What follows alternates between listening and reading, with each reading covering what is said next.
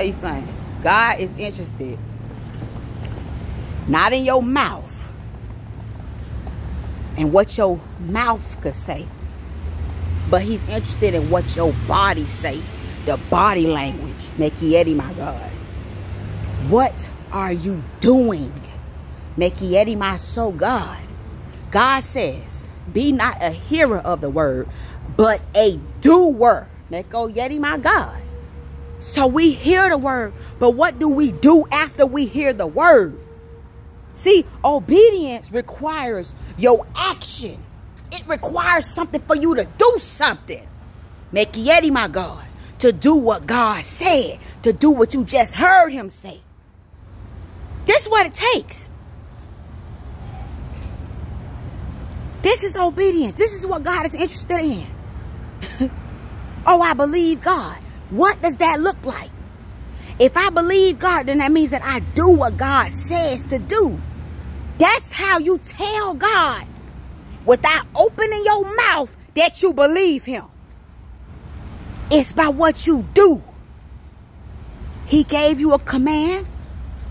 He says, if you love me, you will keep my commandments. What does keep mean?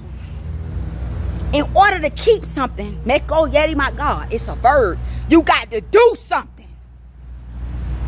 Either you hold it close to you, either you you you, you have to go get it so you could keep it. You got to do something. There's an action required from you, my love. This what we got to get. So many people, I love God, I believe God, I trust God, I'm trusting you, God, I'm trusting you, God, I'm trusting you, God, I'm trusting you, I trust you, God. What? And you think God believe that? No. God don't believe you telling him you trust him. That you lying to God. He know your heart. He know your mind. If you got to say you trust God, when he commanded you to trust him, he says, Trust me. Trust in the Lord. And lean not to your own understanding. That's what he said. He commanded you to do something, so you do it. What does trusting God look like? Thank you, Jesus. What does trusting God look like? Me doing everything he said. When Abraham took his son to get ready to sacrifice his behind. That's what it looked like. God said, sacrifice your son. He sit there and try to negotiate with, I trust you, God. Um, do I got to sacrifice all of them or can I just put a, a leg on there or can I just give a arm or can I give a finger? God say, give me your son.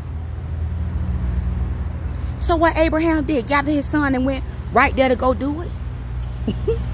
and what did God do? Provide a sacrifice.